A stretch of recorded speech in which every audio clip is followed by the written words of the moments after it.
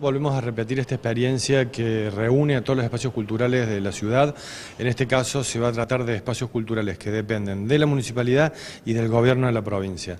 En el caso de los espacios municipales, concretamente va a haber dos abiertos desde las 20 horas y hasta las 2 de la mañana. Uno es el Cabildo, donde estamos ahora, que ofrece cinco exposiciones, tanto en la planta baja como en la planta alta. Aquí en la planta alta, donde estamos ahora, vamos a poder encontrar exposiciones de los más diversos tipos de disciplinas, pintura, objeto, dibujo, fotografía de la mano de un artista importante cordobesa como es Paola Spalletti y a pocas cuadras del Cabildo el Museo General Pérez que tiene siete exposiciones, entre ellas proyectos con artistas jóvenes y el valor añadido tanto en el Cabildo como en el General Pérez del valor histórico patrimonial de, los inmuebles.